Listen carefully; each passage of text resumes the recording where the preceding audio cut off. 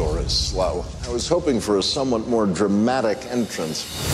Adrenaline fueled excitement, nail biting suspense, a cocktail of the world's most colorful villains. You're insane. I wouldn't know. After three incredible seasons, fans around the world continue to fall in love with Red Reddington and FBI agent Elizabeth King on the worldwide phenomenon, The Blacklist. Hi, I'm Harry Lennix. I play team leader Harold Cooper on The Blacklist. For the next half hour, I'll be your host for an inside look at one of the world's biggest TV hits. Tonight, we sit down for an exclusive conversation with actors on the blacklist.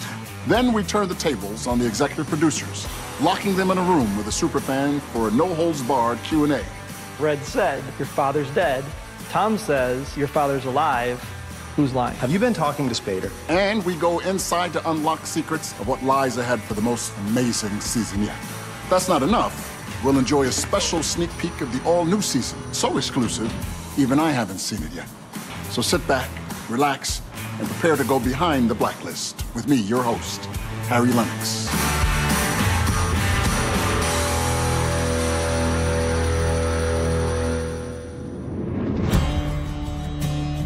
What do you get when the world's most wanted criminal surrenders to the FBI to pursue and capture 200 of the world's most elusive villains? Sprinkle in some amazing action, edge of your seat suspense, and a healthy dose of the most enigmatic criminals ever to grace the small screen, and you've got the makings of an international hit. Something we call the blacklist. How many of these cases has Reddington given to you? He keeps us busy. Last season was, without question, the most exciting yet. Its shocking twists that set fans around the world on their heels, including the apparent death of Liz, one of the show's central characters. You were wrong to make her believe you could keep her safe. Fortunately, Liz is back. But just as fans around the world breathed a collective sigh of relief, Liz was kidnapped in last season's thrilling finale. Who are you? My name is Alexander Kirk. Folks, as an actor on this show, I can tell you with absolute certainty, you can never know what will happen next. I'm your father. Okay, for three years, fans around the world have had questions. So we sent superfan Troy Heinrichs for a face-to-face interview to get the answers from Blacklist executive producers John Eisendrath and Jon Bokenkamp. John and John, thanks so much for having the opportunity to let us come out and talk to you guys because season three was probably the best season of the Blacklist so far. So let's talk about the theory camps. We have the hashtag Daddygate crowd. They are adamant that Red is definitely Liz's father. I remember in season one, Liz says to Red, Are you my father? And he takes a moment and he says, No. I was like, oh my God, it's over. This core mystery is just shot. And nobody believed it. It's amazing to be part of an enterprise that people care enough about to wonder whether what we're presenting is real or just artifice, and we're going to later tell you the truth. Red said, Your father's dead. Tom says, Your father's alive. Who's lying? we have hashtag Lizzington, the shippers. Do you guys ever cater to the shippers? We're aware of them, but it doesn't determine what we're going to do. In the second episode in Marvin Gerard, they're in a shipping container talking about being a ship captain on a ship. If you're a shipper, you're like, they're, they're talking to me, the fan. It's incredibly fun and rewarding to know that people question every detail, including the shipping container, which sadly I'm fairly certain was just a shipping container. I think you would have made a terrific captain. So, walk with me on this one. The other third camp is that Red is an imposter. He's not really the Raymond Red Reddington that was a naval intelligence officer that went off the grid. The clues are, of course, in season one, he goes and sees the plastic surgeon in Miami. I mean, look at you. You look great. I mean, the elasticity is amazing. So then, season two, we get to the end of the road, and Naomi's sitting there, and if this is the woman that he was supposedly married to, says, "You look a little bit different." You look so different. Not as different as you. When we get into season three, Red is in his own mind, and he's reliving this Katerina Rostova concept. Is in fact Raymond Reddington, Katerina Rostova, the same person?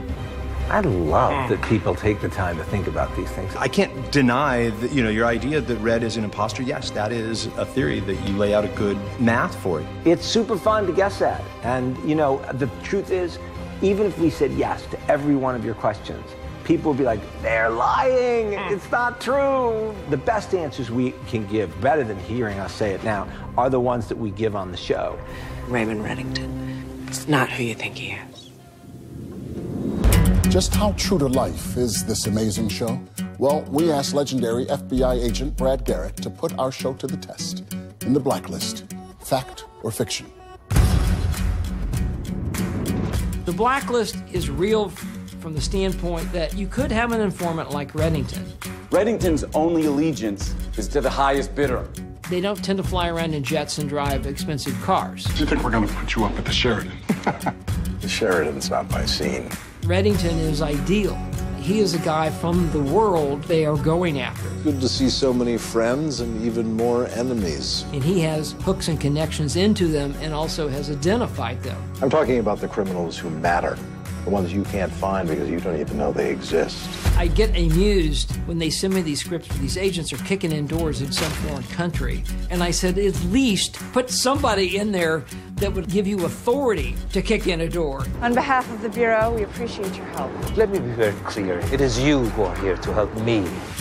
That part is all well and good. From a reality standpoint, they allow Reddington to do things they would never have authority or get authority to do. But boy, is it fun to watch. And if you're in law enforcement, it's very cathartic because it's like, boy, I'd really like to do it that way. You've killed three people. I'm not perfect.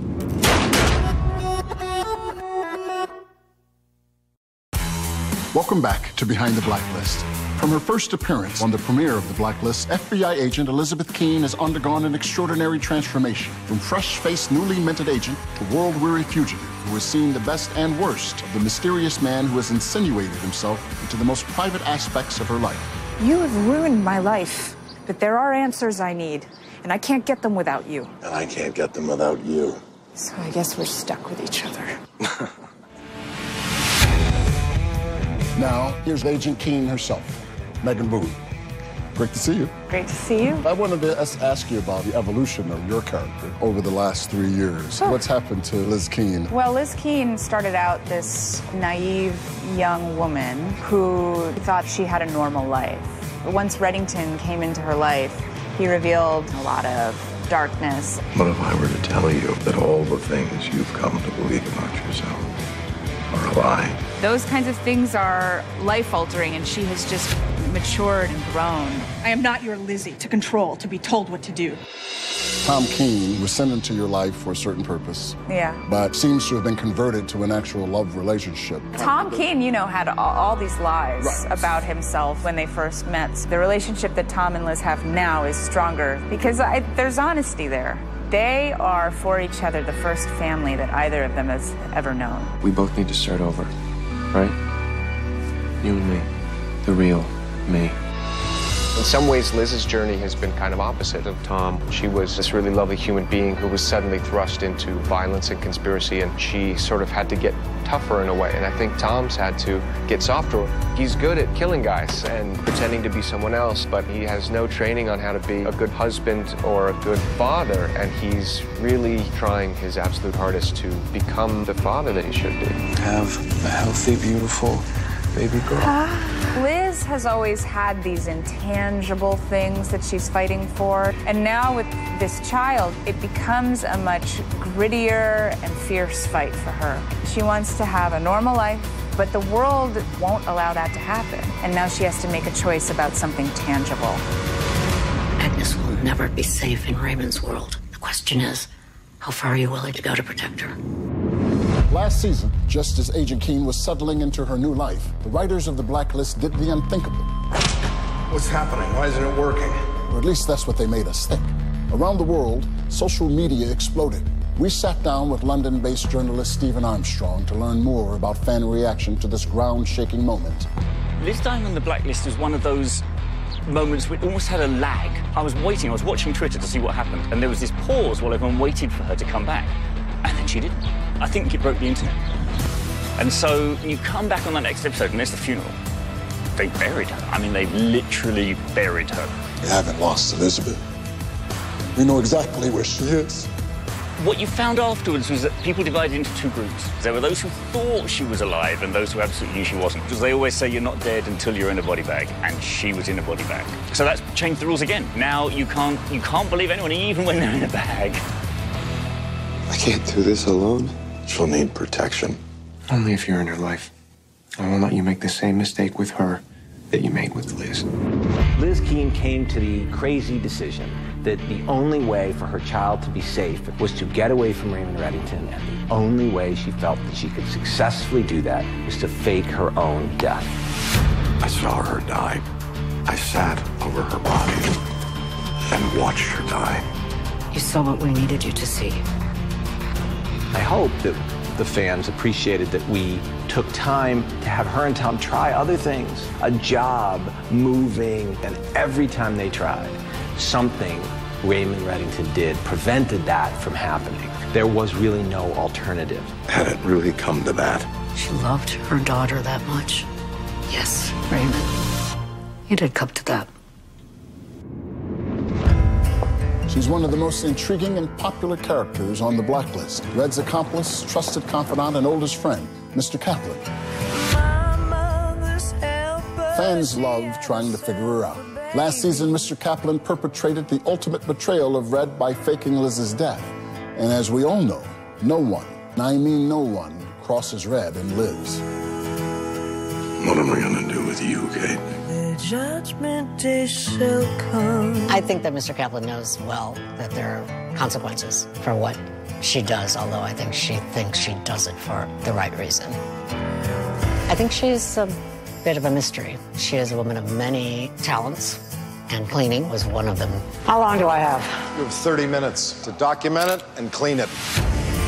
We have had the most fun writing the characters who are in Reddington's entourage. And Mr. Kaplan is singular among them because she is, in many ways, his closest confidant. It's wonderful to play a woman who's competent. My kind of girl. It's just not an opportunity that you get often. And she's so beautifully written. I'm fortunate to have her in my life.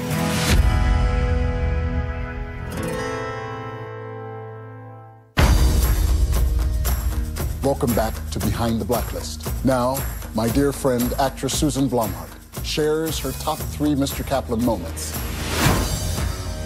I really have always liked the very first moments. Coming down that street, she's got a purpose, she's gonna do what she does. You're Mr. Kaplan? I remember walking through that door, I'd never even looked at Liz. I just went, ba-dum, ba-dum. I'm gonna come in, I'm gonna do this, and okay, I'm done. I have two directives to protect you and find my employer. I intend to do both. That was the first time I got to shoot somebody on, on screen. That was a really, really big gun. Whoever these gentlemen are, they're not FBI. She's serious. She's gonna blow you away. You're gone. I liked the goodbye to Red after he had been shot. There's nothing you can do here. It's interesting when you see it, when I go over to say that goodbye, we were not looking at each other. It's one of those moments where you think, if you did look at the person, you might not even be capable of feeling what you're feeling at that moment. I'm not leaving you, Raymond. I'll be fine. We've come to know Red Reddington as many things man of refined taste, self proclaimed opportunist, and ruthless adversary. Gentlemen, put down your hammers. It's time for recess. Simon says, put your hands on your heads. You're crazy, old man. You have no idea. Part of the show is super dark, and it is offset by the fact that Red is a character filled with such joy for life and, you know, has such an enthusiastic embrace for life. It appears this party's just getting started. The people Red respects the most tend to be the people who feel free to push back and be honest with him. Glenn is one of those people who's happy just to lay into Red. If you get it done fast, I will introduce you to two young ladies you will never forget. You lied to me. They're homeless. Mr. Kaplan, Dembe, and oddly enough, Aram has sort of become one of those people. What do you want, Aram? I could use your help. Red respects people who are earnest and sincere, and Aram's love and affection for Elizabeth Keen I won't let you take her. is something that has meant a great deal to Reddington. Why did you ask me to meet you at an empty grave? I'd be staring at another body right now if not for you, Aram. You saved Elizabeth. I'm forever in your debt. For somebody who has experienced death and dying to the degree that he has, in this case, I think he was completely ill equipped to deal with this death. You have Red, who we've never seen have any moment of weakness, kind of be defeated. I got you. The first episode after Lizzie's death was completely out of the, what you'd expect from uh, from Blacklist, and it was very much out of what you'd expect from Red. It's Red not being in control. There was a woman and her child. Both were doomed. Either save one or lose both. I chose the child. At the beginning of the episode, he's very unsure about how to put one foot in front of another. He's lost without really even being aware of it. Now we're seeing this heartbroken Red, not only because he lost Elizabeth, but also because he's been betrayed by the person who is probably closest to him. How does Red handle this now?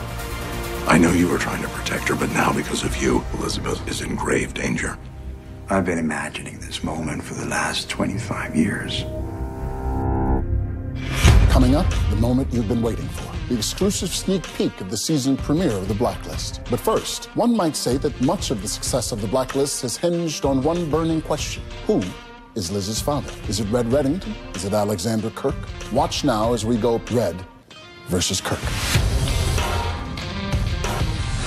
You have me, and I'm not going to let anything happen to you.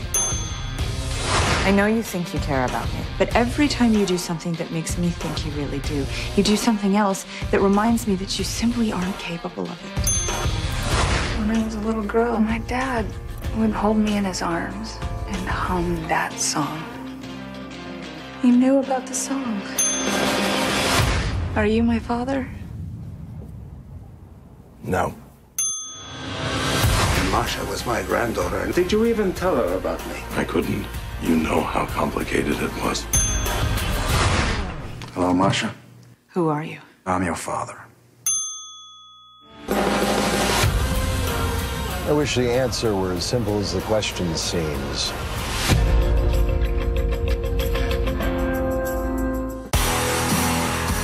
Welcome back to Behind the Blacklist. So, how do you top the best season of The Blacklist ever? Watch and learn. Season four picks up right where season three left off. Liz is in some unknown space with Alexander Kirk. Tom is MIA. The baby is gone. Reddington and Kaplan show up in this place in Cuba where Tom and Liz were going to live. All the pieces of the puzzle have sort of been thrown up into the air, and they come crashing down right in the beginning of season four.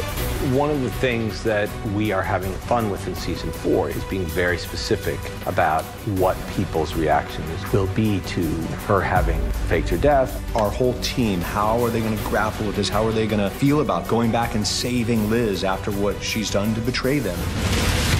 Liz, she's alive. Alexander Kirk is claiming to be her father, and he shows her a whole new world that Reddington was unwilling to show her.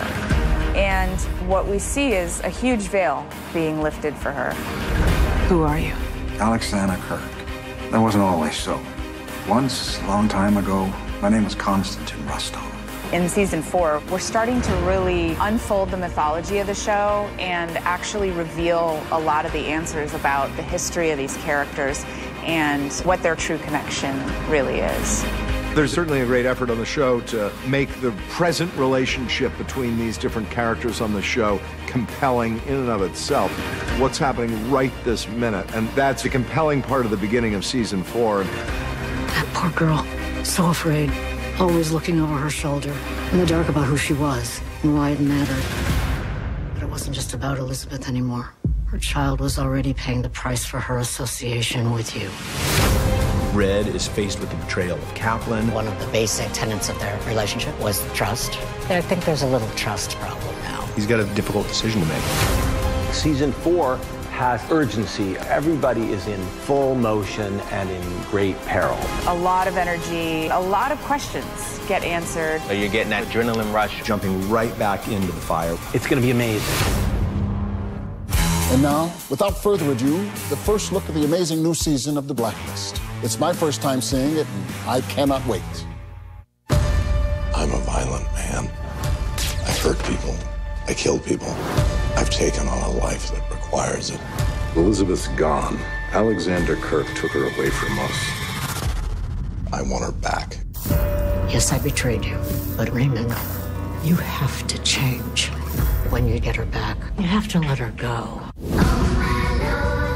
Gather your team. Our next blacklister knows where to find Elizabeth. A five-way split. We're looking for a name. It's time for you to leave. Well, isn't this your lucky day? Reddington is a spiteful, evil man. What have you done with Tom? All that matters is that you have a little girl and a mother. I'm coming for them. And not just me, an army. You hear me? An army is coming for you.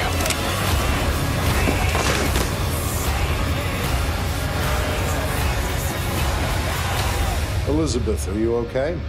Of course she is. Unlike you, I would never hurt my own daughter. Elizabeth, I will come for you.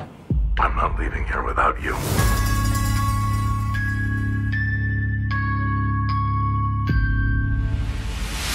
Wow. Season four of The Blacklist definitely starts off with a bang. And the good news is we're just getting started. Because as incredible as last season was, I have it on very good authority, season four will be even more amazing. Okay, you either need to watch this one live or stay off social media because I promise you do not want any spoilers of this Blacklist season four premiere. I'm so glad we could share the last 30 minutes going in depth on this amazing show. For Behind the Blacklist, I'm Harry Lennix.